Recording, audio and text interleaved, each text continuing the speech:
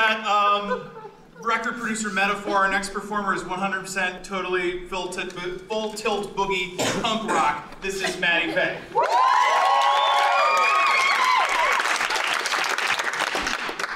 It's hard to tell looking at me now, but I was sort of a weird kid.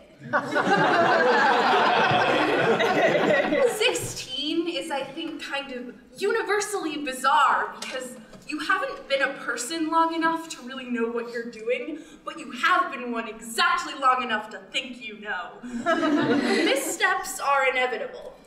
I missed a couple staircases, and by the time I was 16, I didn't have much going for me, other than a promising future as a drug dealer.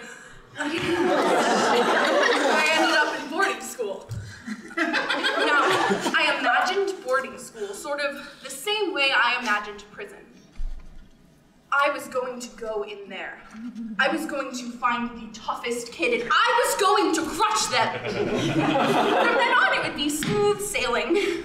So I walked through the hall on my first day of school in my short plaid skirt and my knee high navy socks, practicing my snarl. it didn't take me long, however, to realize that I don't know if you guys know this, but uh, boarding school is not like prison. Um, these kids were nice and respectable and clean and exactly the opposite of all of my friends. I knew that they wouldn't like me, so I decided to hate them first as a precaution. I spent the next couple weeks sending mean texts under the table and making mean faces and smoking cigarettes by myself behind the auditorium. I was the baddest bitch in school. Until one day I'm sitting in math class.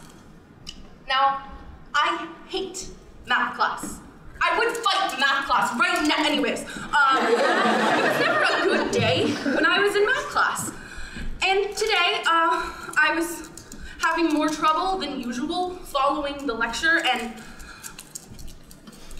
my skin started crawling and the walls started closing in and my lungs shrank to the size of peanuts. And this was not my first rodeo. I knew what a panic attack felt like.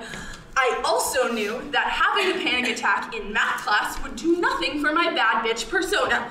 So I raised my hand and I asked to be excused and I calmly got up, walked out the door, down the hall, past the bathrooms, out of the building, and into the sunlight.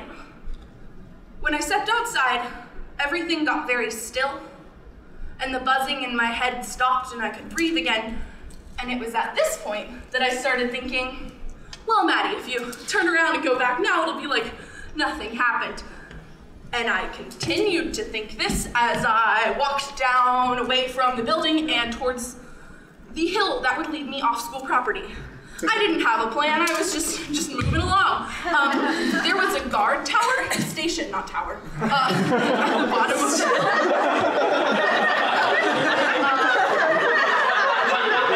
I knew this, uh, so I decided I was going to climb over the fence uh, and into someone's backyard. So I, I do this in my skirt, and I hear a dog snarling and a man yelling, and this seems like too much to deal with. So I climb back over the fence and decide to take my chances with the guard. As I near the station, it appears to my luck that it is empty. Unluckily, as I am leaving school property, the guard himself pulls up in his white van. He leans out the window and he looks at me and he says, What are you doing? you can't leave. To which I said, and kept moving. At some point, I hear him say something into a walkie talkie, and that is the last thing I heard because I was off running. I took off through a series of yards, through a side yard, and then I'm in jumping off of things, falling, getting up, not even noticing, because fear and adrenaline are like a superpower. And I keep running until I get to the bank of one of the widest parts of the Chattahoochee River. The water is moving really fast here, and I haven't mentioned until this point that it's February, but it's about to be really relevant. Using all the planning and foresight that I've given to every decision I've made in my life thus far, I close my eyes, I take a deep breath, and I jump into the Chattahoochee River. I crash to the bottom, and then I bob up in the cold water, and whoo, it's real cold. I, what am I doing? Why am I? I realize um, that the far bank of the river is a sheer rock face, but never fear, there's a ladder straight across the river. Now, um, I didn't think this through, but uh, turns out one does not swim straight across the river, as it is. And I realized pretty quickly that my options are to hope that the far shore levels out before I pull a Rasputin and die of hypothermia, turn around and swim back to the shore. So I turn around and I pull myself up in the mud, and I sit there and I wait for someone to find me. And find me they did. I was escorted back into school by all of the administrators, the guard, and both of my parents. I have long since lost my shoes. My little plaid skirt and my knee-high socks are covered in mud. Everyone is watching.